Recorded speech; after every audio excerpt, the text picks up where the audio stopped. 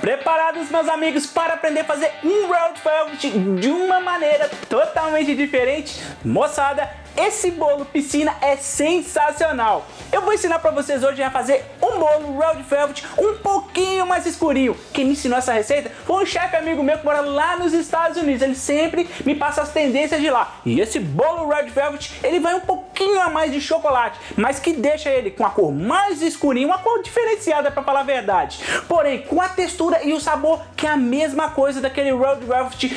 Opa, Red Velvet. Esse nome eu vou te falar, é muito pra mim, pessoal. Que vai deixar a textura, o sabor, a aparência da massa a mesma coisa. E feita ainda na, na forma bailarine, que deixa qualquer bolo sensacional e vocês não sabem do melhor. Eu vou ensinar para vocês a fazer uma cobertura que estava guardado as sete chaves aqui, mas eu vou ensinar de bandeja para vocês. Mas em troca você já sabe da nossa parceria, né? Senta o dedo no gostei porque deu um pouquinho de trabalho para fazer. Então eu faço, você senta o dedo no like. E se você aí é novo no canal, se inscreva ativando as notificações para não perder nenhum vídeo.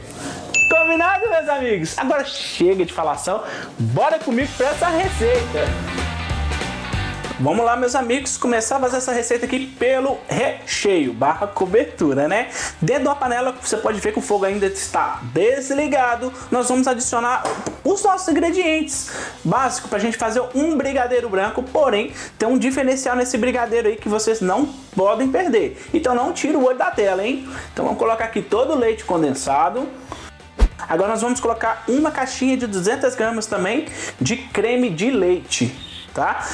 Vamos colocar aqui agora nada mais. agora sim, nós vamos ligar o fogo, viu pessoal? Vamos colocar mais nada agora não. Ligar o fogo em fogo baixo e vamos começar a mexer isso aqui até ele começar a engrossar. O ponto que nós pretendemos chegar aqui é aquele ponto de brigadeiro branco, viu? Ponto de brigadeiro. Pronto, meus caros amigos, podem ver aqui, ó, que já chegou no ponto. Você tem certeza que é fera em fazer um brigadeiro e sabe daquela técnica de desgrudar o fundo, olha lá, desgrudou do fundo da panela, tá na hora de desligar o fogo. Agora vem uns segredinhos aqui para poder deixar essa nossa base show de bola, que é colocar chocolate branco. É isso mesmo, pessoal. Esse chocolate branco vai intensificar ainda mais essa nossa base aqui. E vocês podem ver aqui ó, que o nosso chocolate está praticamente quase que tudo derretido, mas sempre vai haver alguns gruminhos, tá vendo? Ó? Isso é normal do chocolate, pessoal. É nessa hora que nós vamos pegar essa nossa cobertura aqui e vamos levar para um outro recipiente é o nosso liquidificador. Olha aqui, nosso amigão liquidificador. A intenção não é poder triturar os gruminhos do chocolate branco, que eles já estão basicamente derretidos, e sim afinar, deixar mais lisinho esse nosso creme para ele receber a nossa segunda etapa, combinado? Pronto, liquidifiquei bem isso aqui. Olha só essa textura. Olha só que coisa mais maravilhosa, meus amigos. Agora nós vamos pegar esse creme aqui e levar para um outro recipiente e vamos levar ele direto para o freezer ou então para a geladeira. Se for levar para o freezer, se caso você não tiver com muita paciência de esperar ele gelar na geladeira, leva para o freezer e deixa mais ou menos umas duas horinhas. Se caso você tiver paciência, que é o ideal, leva para a geladeira e deixa lá em torno de 10 a 12 horas ou de um dia para o outro. Combinado? Então simbora aprender a fazer o nosso bolo enquanto esse negócio aqui gela. Bora lá agora ensinar vocês a fazerem o nosso bolo Red Velvet. Nome chique, né, moçada? Red Velvet. Não, falei tudo errado agora. Red Velvet. Ah, agora sim. Vamos primeiro começar a misturar os ingredientes mais líquidos. Aqui você pode ver que eu coloquei já o corante. Eu tô usando esse corante aqui, ó, vermelho natal. Vou colocar também iogurte natural. Você pode usar até aquele iogurte natural que eu já tenho receita aqui no canal. Se você não viu, clica aqui no card e dá uma olhada.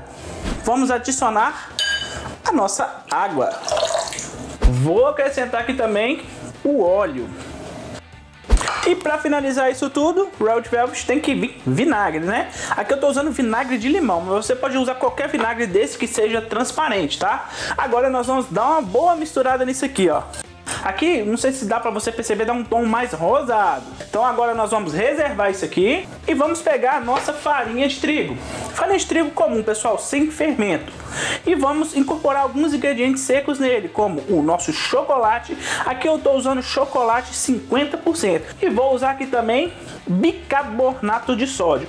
Nessa receita ela não vai o fermento químico, o fermento em pó, mas vai o bicarbonato de sódio, que é aquela mistura de bicarbonato com o nosso vinagre e o iogurte começar um pouco mais ácidos, vai dar uma reação que vai fazer o nosso bolo crescer, viu pessoal? Agora é só misturar isso tudo aqui. Pronto, com isso aqui já meio que misturado, você pode ver aqui. Vamos agora propriamente dito fazer o nosso bolo, fazer a montagem da nossa massa do bolo. Dentro de uma travessa bem maior, nós vamos adicionar os nossos ovos. Aqui eu estou usando três ovos, viu, meus amigos? Vamos adicionar também a manteiga em temperatura ambiente, tá? Se você quiser, pode usar margarina também, não tem problema não. E vamos colocar o açúcar e com o auxílio de uma batedeira, que eu vou estar usando batedeira de mão. Vamos bater isso tudo aqui até formar um creminho bem lisinho se o nosso açúcar estiver bem diluído. Agora nós vamos adicionar aqui dentro o nosso líquido que acabamos de preparar na etapa anterior. Vamos dar uma boa mexida nisso aqui. E é essa hora aqui, pessoal, você já viu aí o tonzinho tradicional do Road Velt, né? Esse vermelho aí que eu usei, aquele corante que é vermelho Natal. Porém, para deixar o Red Velvet tradicional, geralmente a gente coloca uma colherzinha de chá de cacau 100%, pode usar também o, o chocolate em pó de 50% também que dá certo. Só que nessa receita o diferencial é esse, nós vamos colocar de duas a três colheres, vai colocar um pouquinho a mais de chocolate, vai deixar ele com um tom um pouco mais escuro e ainda assim com aquele fundinho vermelhinho do Red Velvet. Pessoal, isso faz toda a diferença, é muito gostoso desse jeito, pessoal, dá mais sabor de chocolate. E ainda por cima fica com aquele toque de Red Velvet, pessoal. Podem fazer. Então, chega de falação, bora para continuar essa receita. E agora sim, vamos adicionar aos poucos para não empelotar as no a nossa mistura de farinha de trigo, bicarbonato e chocolate. Embora. E olha só que massa mais maravilhosa, ó. Olha só, olha essa cor, olha esse brilho, olha. Para fazer esse bolo eu vou usar aquela forma bailarina, aquela forma do bolo piscina, viu pessoal? Aqui eu somente untei com bastante margarina, tá vendo? Então vamos jogar a nossa linda massa aqui dentro. Olha só o brilho, olha a cor. Agora vamos levar isso aqui para assar em forno pré-aquecido a 180 graus de 40 a 50 minutos. Qualquer coisa, só fazer o teste do palito. Então, bora lá. Acabei de tirar o nosso recheio lá do nosso freezer, deixei lá duas horinhas, mas como eu falei, o importante é você deixar de um dia para o outro, é melhor, né? Olha só, ele tá bem duro, olha, olha isso aqui, ó. Olha a consistência, é isso mesmo que a gente precisa, ó. É isso mesmo que nós precisamos, tá vendo? A gente vai fazer o processo que é o seguinte, pessoal, nós vamos transformar esse recheio aqui em uma cobertura, essa base do recheio em cobertura. E para isso, com a batedeira, eu vou utilizar esse utensílio aqui, ó. Se chama raquete. Se você não tiver uma batedeira que tem esse utensílio, não tem problema, pode fazer com o que tiver aí na batedeira, não tem problema. Mas esse utensílio aqui, a raquete, ele vai misturar de uma forma mais homogênea, de uma forma melhor para poder transformar essa nossa cobertura. E aliás, esse nosso recheio em cobertura. Agora nós vamos começar a bater isso aqui. Vocês puderam ver que eu bati em velocidade média. Olha só, tá transformando nosso recheio.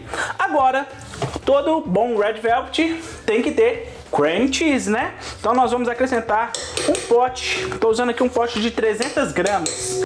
Nós vamos bater novamente em velocidade média para baixa. E olha só a textura dessa nossa cobertura, que coisa mais linda, olha. Olha isso aqui, olha. Olha isso aqui. Olha. Simbora agora colocar essa belezura em cima do nosso Road Velvet. Vocês estão curtindo a receita até aqui, né? Vocês estão vendo que cobertura topzera que tá saindo. Mas antes de continuar essa receitola, eu queria mandar um abraço. Um, pra falar a verdade, um abraço, um cheiro, um beijo, como dizem várias terras aí. Pros inscritos que sempre tá aqui, sempre tá comentando. Queria mandar um abraço especial pro Evásio Bezerra, lá de Juazeiro do Norte. Olha, longe, e ele segue aqui, sempre tá comentando os nossos vídeos. E também a Elizabeth Rosa, de Taberaí, Goiás. Olha, um abração para vocês, muito obrigado por seguir tá sempre comentando. E vocês, se quiser que eu mande um abraço para você, Tá esperando o quê? Deixa aqui embaixo o seu nome da onde que você mora, que eu vou falar com todo prazer. Vou mandar um abraço com todo prazer para você. Combinado? Agora, para continuar essa receitola, já sabe do nosso combinado, né? Senta o dedo no gostei. Se você é novo no canal, primeira vez aqui, já se, se inscreva e ative as notificações para não perder nenhum vídeo. Agora sim, bora pro restante da receita. Vamos tirar um pouquinho do topo desse bolo aqui, ó, para a gente fazer um acabamento no nosso bolo piscina. Só esse topinho que fica estufado aqui, tá vendo, ó? Pronto, com o topinho do nosso bolo já retirado, tá vendo? Agora sim, vamos começar a desenformar. Olha esse bolo, pessoal. Olha só. Agora é só pegar nossa deliciosa cobertura. Olha isso aqui, pessoal, olha. Olha essa cobertura, que coisa mais linda, ó. Olha isso.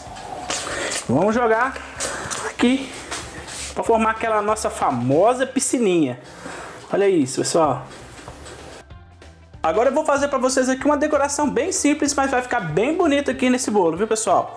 Só pegar morangos e vamos colocar dessa forma. Pegue morangos partido ao meio e sem o talinho da flor e coloque desse jeito. Sabe aquele topinho do bolo que nós tiramos? Então, eu dibuei ele um pouquinho, tá vendo? E levei ele pro forno, ele secou e virou uma espécie de farelo. Tá vendo aqui? Com esse farelinho, a gente vai jogando aqui, ó, uma beiradinha do nosso bolo.